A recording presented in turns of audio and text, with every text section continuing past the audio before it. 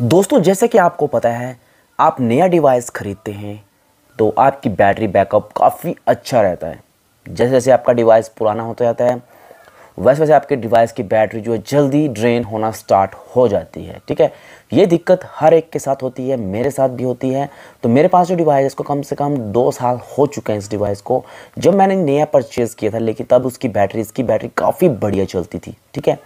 और अब जो है इसकी बैटरी जल्दी ड्रेन होना स्टार्ट हो जाती है। तो आज मैं आपको कुछ सीक्रेट सेटिंग्स भी बताऊँगा, सीक्रेट कोड भी बताऊँगा आपको सैमसंग डिवाइस के, जिससे जो है आप अपनी बैटरी बैकअप को एक तो इंक्रीज़ कर पाएँगे और आप जल्दी ड्रेन होने से भी बचा पाएँगे। तो आज आपने मेरा पूरा वीडियो यहाँ पे ध्यान से देखना है। कुछ सेटिंग्स जो वो कॉमन है, लेकिन कुछ सेटिंग्स फॉर मतलब कि कुल मिला के आपने जो मैं प्रोसेस करूँगा वो प्रोसेस करेंगे। तो आपकी battery hundred and one percent जो है, बढ़िया चलेगी। दो दिन लगभग आपकी बैटरी जो है, चल पड़ेगी। दो दिन, ठीक है? तो ट्राई कीजिएगा। तो कौन सी वो सेटिंग है? कैसे आपने अप्लाई करनी है? मैं आपको पूरा यहाँ पर डिटेल में बताऊँगा। सो नमस्कार दोस्तों। मेरा नाम है राकेश कुमार और आप देख रहे हैं आर के न्यूज़ टैक चैनल तो चलिए इस वीडियो को स्टार्ट करते हैं, ठीक है? तो सबसे पहले ट्रिक कोड भी है, वो कोड आपको मैं बाद बताऊँगा, क्योंकि पहले आपने सेटिंग्स यहाँ पे देखनी है, ठीक है? सेटिंग्स में जाना है यहाँ पे। सेटिंग में जाने के बाद आपने नीचे को स्क्रॉल डाउन करना है। आपने जाना है सबसे पहले setting battery and device care वाली। आपके डिवाइस में डिवाइस केयर भी हो सकता है या फिर बैटरी या कुछ और भी हो सकता है, लेकिन कुल मिला के अपने बैटरी एंड डिवाइस केयर वाले ऑप्शन में जाना है। चले गए, यहाँ पे जाने के बाद आपको इस तरह का इंटरफेस देखने को मिल जाएगा, ठीक है? मिल गया। इसके बाद आपने कुल जाना कुल मिला के जाना है बैटरी वाले ऑप्शन में। चले गए। यहाँ पे जाने के बाद आपको इस तरह का इंटरफेस यहाँ पे देखने को मिलेगा। जो पहला स्टेप है, वो कौन सा है? पहले पावर सेविंग वाले ऑप्शन में इसको ऑन नहीं करेंगे पहले यहाँ पे क्लिक करेंगे। यहाँ पे आप देखेंगे, जी। Turn off always on display limit C P U speed to seventy percent decrease brightness by ten percent ठीक है? तो आप इन तीनों ऑप्शन को देख लीजिए, ठीक है? पहले आपका जो, अगर आपके डिवाइस में ऑलवेज ऑन डिस्प्ले ऑन है तो वो ऑटोमेटिकली ऑन ऑफ़ हो जाएगा टर्न ऑफ़ हो जाएगा, जब इसको आप ऑन करेंगे। उसके बाद limit CPU speed to 70 percent जो आपके डिवाइस का सीपीयू है, उसकी स्पीड लिमिट हो जाएगी 70 परसेंट तक, ठीक है? 100 परसेंट आपका ये नहीं देगा फिर। आपका सीपीयू जो आपका फ़ोन का, वो 70 परसेंट तक ही आप, अपना जो है, योगदान देगा। उसके बाद ये नहीं देगा। उसको decrease brightness by ten percent ठीक है? आपकी ब्राइटनेस जो 10 परसेंट डिक्रीज हो जाएगी। अगर आप इसे भी ऑन कर देंगे limit apps and home screen तो आपका टोटली डिवाइस ब्लैक मोड में चला जाएगा।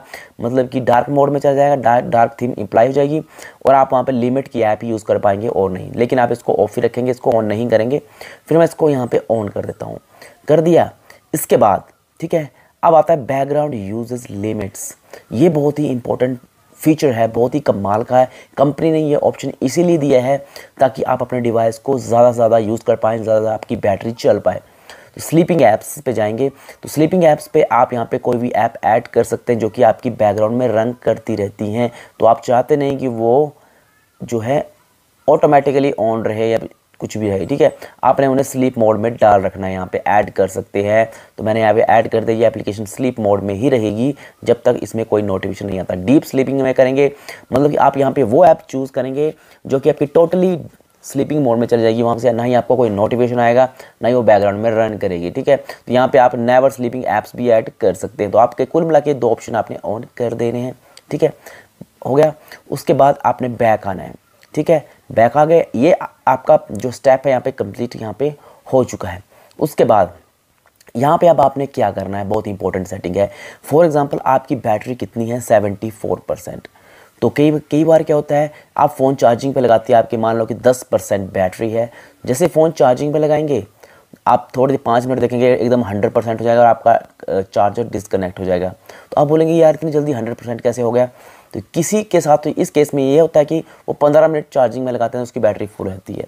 लेकिन ये आपके सॉफ्टवेयर का बग रहता है, जैसे जैसे आपका डिवाइस पुराना होता जाता है तो ये बग जो है ज़्यादा बढ़ जाता है। इसको फिक्स कैसे करेंगे? तो इसके लिए सैमसंग वालों ने एक सीक्रेट कोड जो है बनाया है।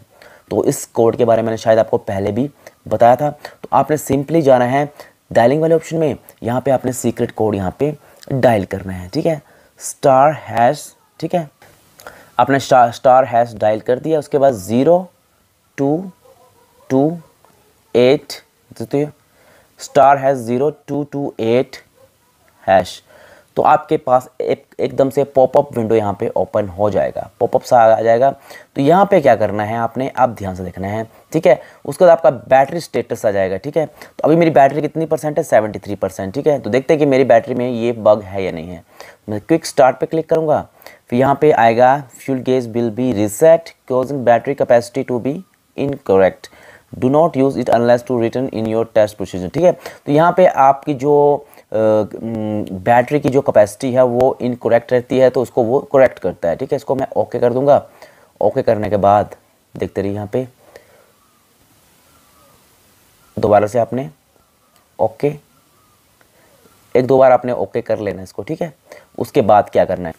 उसके बाद आपने बैक आना है और अपने डिवाइस को रीस्टार्ट कर लेना है एक बार, ठीक है? तो रीस्टार्ट करने के बाद आपकी जो एक्चुअल परसेंटेज रहेगी वो आ जाएगी। तो मेरी यहाँ पे एक्चुअल परसेंटेज 73 परसेंट है। मतलब कि मेरी बैटरी अच्छी है, ठीक है? यहाँ पे बिल्कुल सही बता रहा है मेरी कितनी परसेंट ये बैटरी है। तो आपने एक बार रिस्टार्ट ज़रूर कर लेना है, ठीक है? तो इस ट्रिक को ट्राई कीजिए। अगर आपको समझ में नहीं लगेगा तो कमेंट बॉक्स पर कमेंट करना है। तो आज का वीडियो आपको कैसा लगा? कमेंट बॉक्स पर कमेंट कीजिए। बाय बाय टेक है जय हिंद बंदे